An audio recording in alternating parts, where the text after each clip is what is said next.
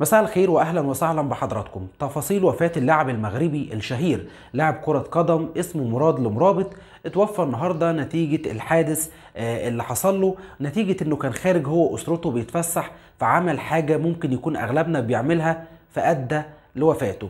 إيه اللي حصل؟ اللي حصل؟ إنه كان خارج أو مبدئيا هو ده لاعب كرة قدم شهير جدا آه، قبل كده كان بيلعب في إحدى النوادي الهولندية وحاليا هو اعتزل كرة القدم وبيلعب أو مدرب وفي نفس الوقت لاعب لإحدى الألعاب القتالية الكيك بوكسينج.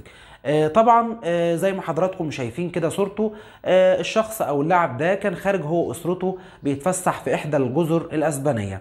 وهناك طلع على جبل بعده تقريبا أو ارتفاعه 30 متر عن سطح البحر فقرر إنه يرمي نفسه في مغامرة خطيرة جدا منه آه، يرمي نفسه من فوق الجبل في المية. وطبعا لسوء تقديره ما بين المسافة ما بين الصخور وما بين المية للأسف بدل ما يقع في المية وقع على الصخور انتقل إلى رحمة الله. ربنا يرحمه طبعا وخالص تعزينا لكل أسرته ولكل الشعب المغربي. طبعا حاجة غريبة جدا لما نلاقي حد بدافع الانبساط أو الفرح انه يرمي نفسه من فوق جبل ارتفاعه 30 متر علشان ينزل في سطح المية مع إنه بكده هو عارف إنه بيعرض نفسه للخطر. بس مش عارف يعني إيه المتعة في كده.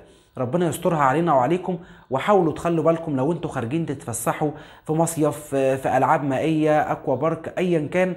ما تنطش من ارتفاع عالي زي كده لأن دايما حط في اعتبارك إن ممكن يحصل حاجة لا قدر الله ويعني الأمور ما تمشيش زي ما هي معتادة. فخلي بالك وربنا يسترها علينا وعليكم. شكرا ليكم. سلام.